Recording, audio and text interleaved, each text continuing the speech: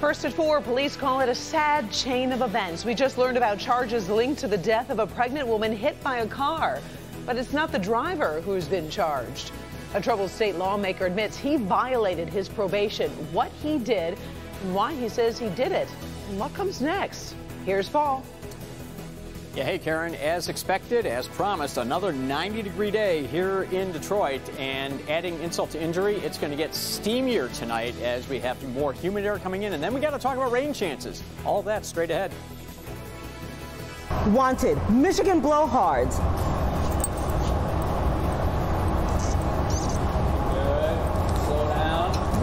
to help break a world record. I'll show you how you can get involved. Local 4 News starts now with a breaking news alert. Good afternoon. I'm Karen Drew. That breaking news comes in the case of a pregnant woman who was hit by a car and killed. There are charges, but not against the driver. Prosecutors are charging the boyfriend of 27 year old Tiara Bianca Jones. He's also the father of their baby. She was hit Sunday afternoon in the parking lot of the Country Court Apartments on Greenfield off of 696 in Southfield.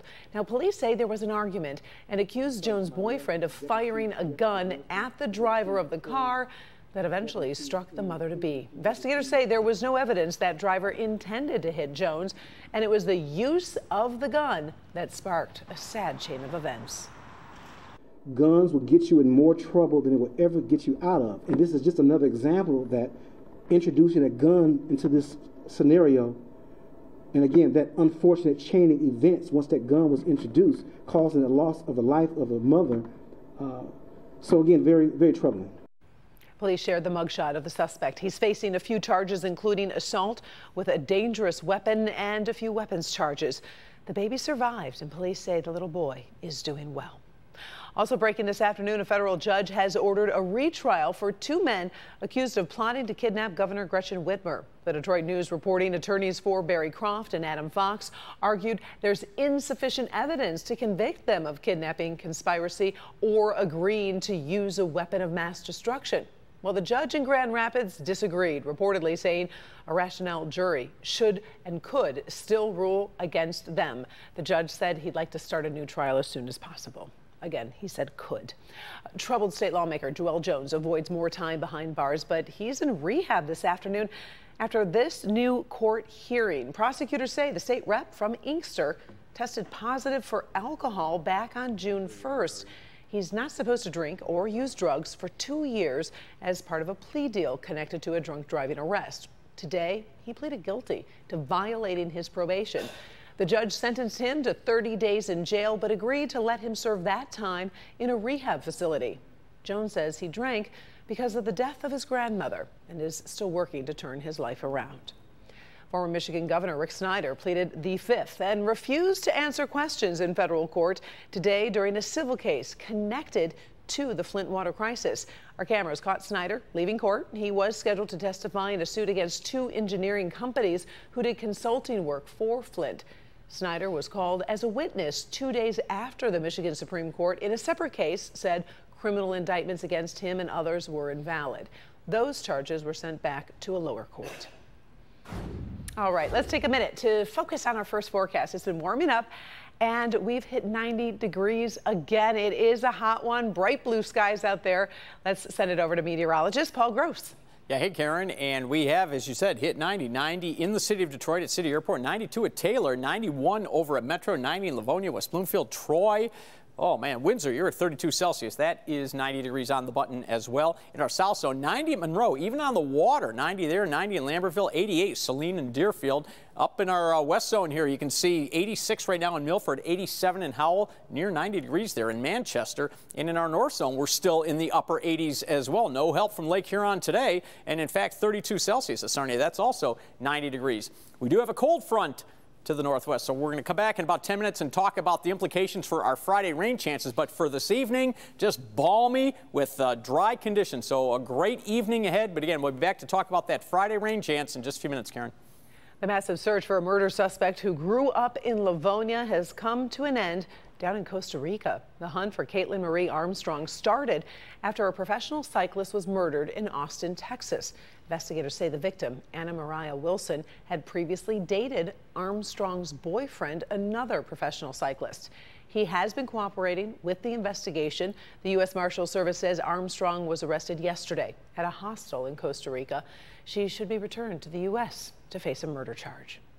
It's been a historic day for the Supreme Court. You will see the celebration of the newest justice in a moment. But first, the current court ruled today the Biden administration properly ended a Trump immigration rule known as the Remain in Mexico policy. That 5 4 ruling is seen as a victory for the Biden administration.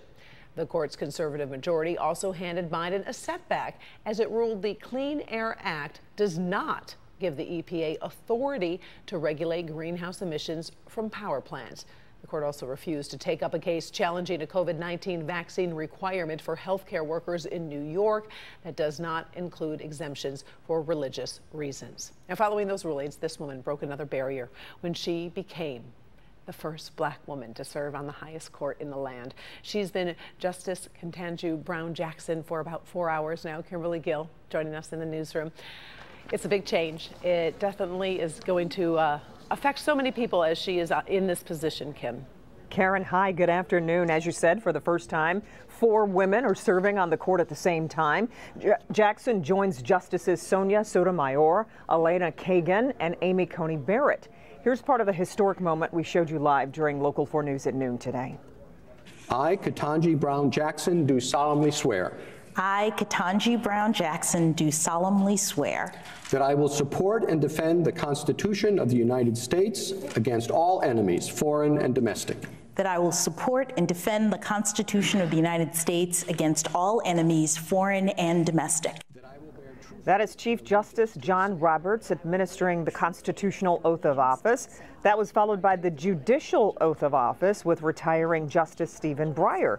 Jackson, of course, is replacing Breyer on the bench. Since both are seen as falling on the liberal side of the court, the balance of power remains six to three. The more conservative wing has the big majority that we've seen in recent blockbuster rulings, like the decision to overturn Roe versus Wade. Justice Jackson will get to work immediately, although there will be another formal investiture ceremony in the fall after the summer recess. The new justice released a statement uh, saying, in part, quote, I am truly grateful to be part of the promise of our great nation. We'll have more reaction to this historic moment when you join us for Local 4 News at 5. For now, though, Karen, we'll send it back to you in the studio. All right, we appreciate it. Thank sure. you, Kim. Well, it is delicate beautiful work, and it could bring a whole new world record to Metro Detroit. We just learned about this mammoth effort to do something pretty special, but it's going to take a village to make it happen. Paula Tutman joins us now from a place called the Glass Academy to show us efforts to put Dearborn, Michigan on the map. Paula, look at you go. Okay, Karen, so all right, so I'm going to set myself up because I've been called a big blowhard, but who hasn't? And a whole lot of people are big blowhards. But this is finesse. And we need more of you to help us break this record. Keep going, give it everything you got. The place, Glass Academy in Dearborn, where starting and setting a new world record is underway. This is a sketch of the final product, an art glass installation, eight feet tall, eight feet wide. But the canvas, the breath of Michigan. Glass air bubbles blown by Michiganders. And the Academy has six weeks to blow and collect 1,000 bubbles. Go for it. There you go. Okay, so here's the final goal to win over judges for the Guinness Book of World Records. This is where it's a community project. We want to win a world record. So we've asked all our students and our, our fans to come in and help us blow a thousand bubbles. And here's how it gets done. So I've shaped it. Now I'm going to start the bubble. That looks like about the right size. Anyone more than 16 years old books a session at the Academy. They learn how to blow and actually blow and see the bubbles they will leave behind for the installation. We do 14 people at a time and it's really fun because it's super community based. Like people won't know each other by the time they leave. They're exchanging numbers. Now it's $25, which helps to pay for the materials, but also supports great nonprofits like Buy Michigan Now. If you come in and you choose Buy Michigan Now as one of the ones you want to support, $5 of your fee if you take a class goes to help support the work that we do, and we year round try to promote Michigan based businesses and Michigan made products. And then on July 31st, the public is invited because here comes the judges. The Academy is already 81 bubbles in. Keep turning in with me. Lighten up Whoop, good. Oh. Hoppa! That's okay. Okay, let's try that again. Good. Keep it coming. Okay, slow down. A little bit more. Beautiful. Perfect. That's the way we do it. Okay, with mine, make that 83 bubbles in. Now only 917 glass air bubbles to go. The idea that a bunch of Michiganders can come together to create some art, let alone that it can set a world record, fantastic. How do you not want to be a part of that? Just whenever you're ready. Okay, so right here. So this is where I tap it? Yep. Just like that? Woo! Oppa! Okay, and nobody got burned, and I get to play with fire. Hit it hard. So again, uh, Glass Academy in Dearborn, you got to contact them because time's already running out. How's that? How does that look? That looks Time is already running out, and they need a game. Michigan Blowhards, unite! So that we can help break a world record. And yes, I did that. Yes, I did that. Karen, back to you. yes, I did that. That was super cool. That really was. I love a lively live shot. Quick question. Do you feel lightheaded after doing that? And do you think kids can do it? Is there enough air in their lungs to make one of those bubbles? Oh, great question. No. Well, yes, I have enough air, but you have to be at least 16 years old, and then you need to be accompanied by an adult. But once you're an adult, come on, bring it. Bring love it. Love it, love it, love it. Paula, you always deliver. Thanks so much. We appreciate it.